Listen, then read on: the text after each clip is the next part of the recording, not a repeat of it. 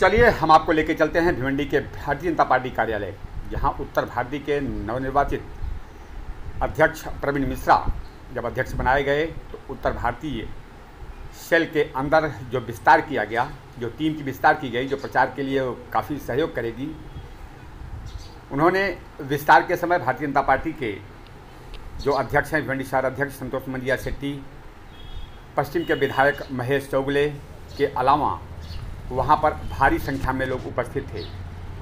आपको दर्शा सकते हैं कि जहाँ पर विशाल पठारे भी वहाँ पर उपस्थित थे। सारे लोगों ने उपस्थिति दे करके अपनी टीम को शाबाशी दिया और उत्साह बढ़ाया। उन्होंने कहा कि हम आगे आने वाले समय में भारतीय जनता पार्टी के इस विस्तार को इस तरह देखना चाहते हैं कि उत्तर भारतीय सेल के जो अध्यक्ष हैं, उनकी रणनीति क्या होगी और किस तरीके से आने वाले जो भी महानगर पालिका का चुनाव हो या लोकसभा, विधानसभा का जो चुनाव हो, उसको मद्देनज़र रखते हुए हम कार्य करते रहें।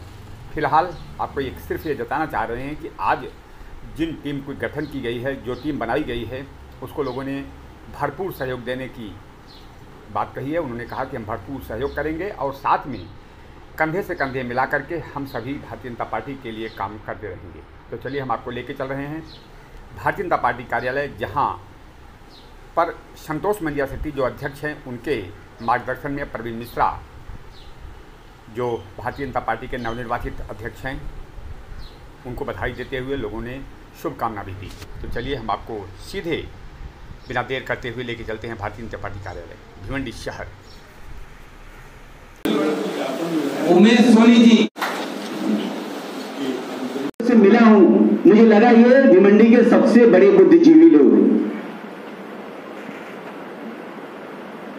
ऐसा कोई नहीं होगा जिसको लेटर दे दिया। एक बार में बोला कि भाई पार्टी जाना है, दे दिया।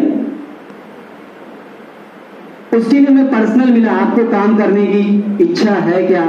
आप कैपेबल हो क्या? घर परिवार के बाद आप देश के लिए काम कर सकते हो।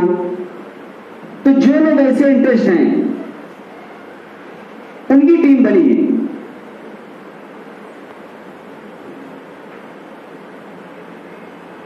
तो आपके माध्यम से भिवंडी में आप लोग इस तरीके से काम करेंगे, जो जवाबदारी आगे तरीके से पूरा करना है। ऐसा नहीं, कोई बन गया कि भाई मैं तो बोलते हैं, क्या उत्तर भारतीय है भिवंडी में? तो अपने को कैसा रहना चाहिए? उत्तर भारतीय की ताकत अपने को कैसी दिखानी चाहिए? लेकिन उत्तर भारतीय एक नहीं है। वो सब बिखरे हैं छोटी छोटी बात पे इससे नाराज़, उससे नाराज़, ये सब बात भूल के। क्योंकि अपने पास समस्या बहुत है। क्योंकि मैं देखता हूँ, आज तुम गोरी समाज देखोगे, तुम्हारे से दस परसेंट भी नहीं होगा, लेकिन उसमें एकता कितनी है? क्या उनकी मस्जिद में जाना, हर दोपहर का खाना मस्जिद से आना, यानी कैसा हैंडल करते? यानी मैंने सोचा तो मैं हैरान हो गया, पूरे अमेरिके तक उनका आज भी दोपहर का खाना मस्जिद से आता, यानी एक जगह से आता है। चलो पाकिस्तान पोस्ट, अब मैं बोलूँगा चाइना चाइना। भारत माता की।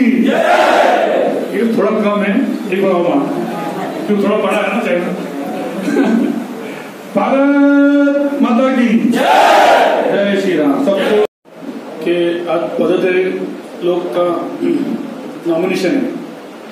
इसमें हमारे सबके लाडके विशाल पटेल को मतलब मोबाइल में टाइप कर उत्तर प्रदेश भारत में काम। वो भारत का नक्शा आया।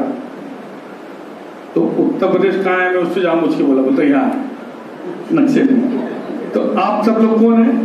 भारत की दिल की धड़कन है उत्तर प्रदेश। भारत के नक्शे में भी आप लोग यहाँ पे। आज घर जाके देख लो। तो पूरे भारत में उत्तर प्रदेश के सिवा ऐसे कितने स्टेट है? गुजरात हो, महाराष्ट्र हो, बहुत से स्टेट है, राजस्थान हो दिल्ली हो, सब जगह उत्तर प्रदेश की जो संख्या है, वहाँ की जो इंडस्ट्री वहाँ की फैक्ट्री हर काम में उत्तर प्रदेश का बड़ा हाथ है। और उत्तर प्रदेश वहाँ पे है, जहाँ पे राम भगवान का जन्म हुआ। मतलब हमारे भारत में सबसे अगर कोई चीज़ ज़मीन में राम जहाँ पैदा हुए, चाहे उनका अयोध्या हम गए थे वहाँ के आप लोग